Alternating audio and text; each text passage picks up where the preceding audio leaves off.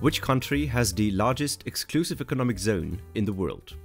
Firstly, let's get some context. The Law of the Sea, which is a collection of international treaties, customs, and agreements, which maintain order and peaceful relations on sea, split the area in front of every country's coastline into three distinct zones. Chapter 1 What is an exclusive economic zone? The first 12 nautical miles, which equates to roughly 22 kilometers or 14 miles, are a country's territorial waters. This means that the country which owns the land has full sovereignty over all aspects of these waters. The next 12 nautical miles are called the contiguous zone. While this zone is already considered international waters, the governing coastal country is permitted under the law of the sea to exert power in the case of criminal activities such as smuggling or illegal immigration. The right of passage, however, must be granted to all innocent vessels. The 176 nautical miles beyond this line are considered a country's exclusive economic zone, or EEZ in short. In this zone, the surface is considered international waters, meaning that any vessel can freely traverse it. But the right to extract resources such as fish, fossil fuels, or the generation of energy from, for example, wind turbines, lays exclusively with the coastal country that has a claim on the land next to it. If the 200 nautical mile claim of two countries intersect, like in the example of Sumatra which belongs to Indonesia and mainland Malaysia, the EEZ borders meet halfway. Since the extent of a country's EEZ is strongly connected to the length of a country's coastline, it is easy to assume that countries like Australia, Brazil or Russia have the largest EEZ. This however is not the case, since the coastline length isn't everything. This is perfectly shown when comparing a rather straight coastline, like for example Chile, with a small hypothetical island with a diameter of just 1 meter.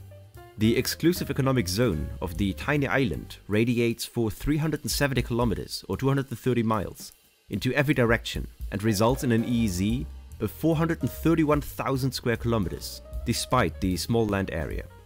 If a country has a straight border, however, it takes 1,164 kilometers of coastline to have an EEZ of the same size, since the zone only extends into one direction, forming something close to a rectangle. Based on this principle, countries covering many small and scattered islands with no foreign neighbors around have an incredibly inflated exclusive economic zone. This is also the main reason why the country with the largest EEZ in the world is so counterintuitive on first glance.